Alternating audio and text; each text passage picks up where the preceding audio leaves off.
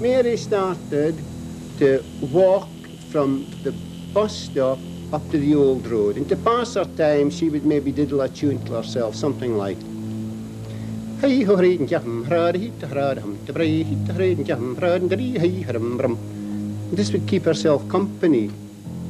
But as she walked towards the old Drove Road and past the cemetery, she noticed a lady come out to the side entrance of the cemetery and walked just in front of her a short few yards.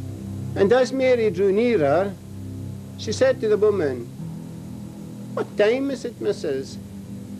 And the lady never took her on, but just kept on walking. So she said, surely she never heard me. So she went closer to the woman and she said, What time is it, missus? And still the woman never took her on.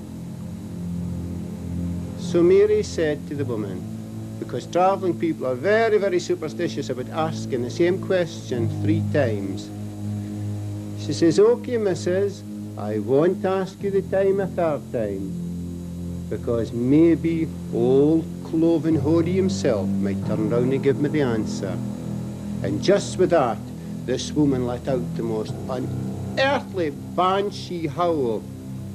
Oh!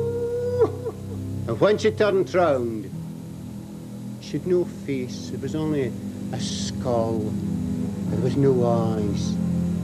And she screamed loudly and ran past Mary and back in the side entrance of the cemetery. A screaming banshee there.